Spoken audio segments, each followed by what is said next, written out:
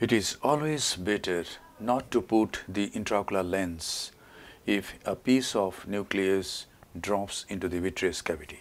We will see that in a short while. PC rent has occurred in this case and a piece of nucleus has dropped into the vitreous cavity. I have taken up this case for management after putting all the trocars and now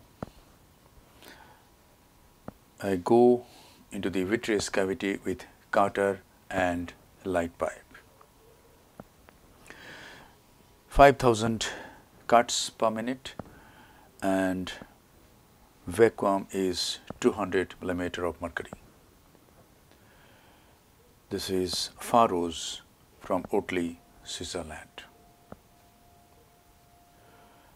I am using a contact lens, irrigating contact lens to visualize the retina.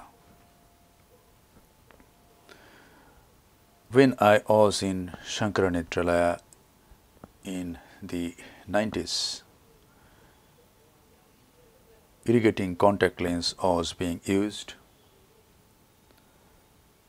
And nowadays we use other visualization systems, but in this case I am using an irrigating contact lens. Antivitrectomy was done nicely at the first surgery and the nucleus management is being taken up after 2-3 days. When the corneal edema is less and visualization is better.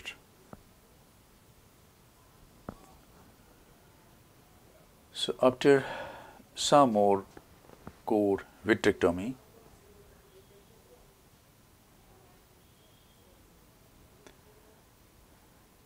place the irrigating contact lens and I can see the piece of nucleus over the macula. It is a hard nuclear piece and it is very difficult to remove by the cutter. And now already there is an wound of about 6 millimeter. So, I bring the piece anteriorly, place it in the anterior chamber, support it by the light pipe, remove the cutter. With keratome, I cut the suture.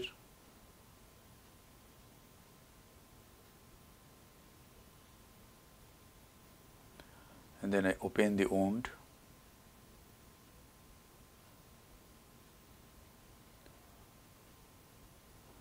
and I try to remove the piece through the opening. There is irrigation pressure and after little manipulation the piece came out. If we have to do emulsification of this space in the vitreous cavity, we have to do complete vitrectomy. But if we can remove this in this way, core vitrectomy is good enough. So, after removing the piece, I did some more vitrectomy for some more time I checked if there is any small piece lying anywhere. Looks clear. No hair, no other piece is remaining.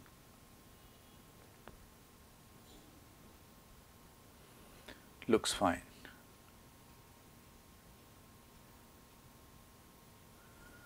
You cannot see the periphery well with this irrigating contact lens. So, my plan is to do thorough indirect ophthalmoscopy after this surgery, after two, three days.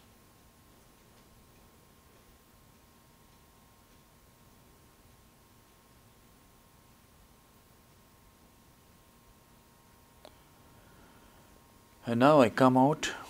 Now my plan is to put an intraocular lens in the sulcus. Since I have a 6 millimeter wound already, I put a PMMA lens of 6 millimeter.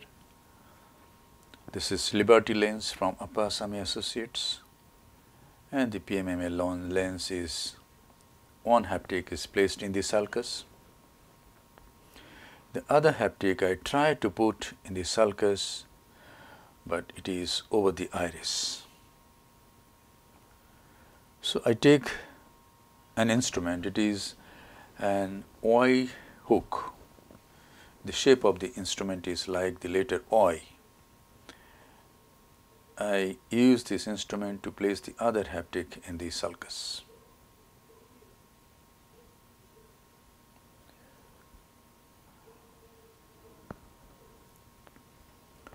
And now all the wounds are nicely closed.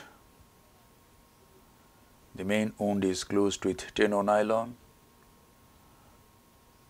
The sclerotomy wounds are self-sealed and this is two releasable sutures to oppose the conjunctiva to the limbus. Thank you very much for your attention. The message I want to pass through this video is don't put intraocular lens if you have a piece of nucleus drop or whole nucleus drop. It is much easier to manage the case by the retina surgeon if you don't put the intraocular lens. If you put the intraocular lens, the retina surgeon has only one option to emulsify the nuclear piece in the vitreous cavity. But if you don't put the intraocular lens, the surgeon has two options. One option is to emulsify the nuclear piece in the vitreous cavity. The other one is to remove the nuclear piece through a sclerocorneal tunnel if it is already there or the surgeon can make a sclerocorneal wound during surgery and remove the piece. Thank you very much again for your attention.